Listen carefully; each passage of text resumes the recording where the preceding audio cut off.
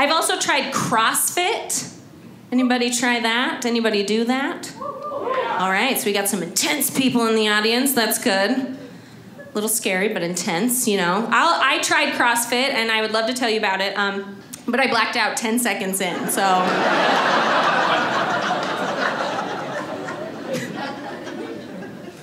I'm 99% sure that all of CrossFit was derived from the movie Rocky 4. Like, hey, strap those tires around your waist and go plow that field. Yeah, we know it's winter, just do it. Later, you're gonna fight a Russian.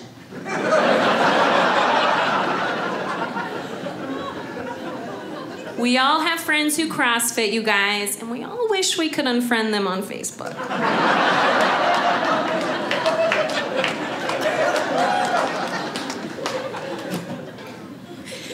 CrossFitters, too, they have their own language. Like, they have their entire vocabulary. You know, it's like, hey, man, totally crushed today's WOD, man. Went beast mode on that AMRAP, you know? Totally went primal on my KBs and my squats and my DLSs and my QTRs. You know what I mean? I'm like, well, uh, today I walked to the mailbox. and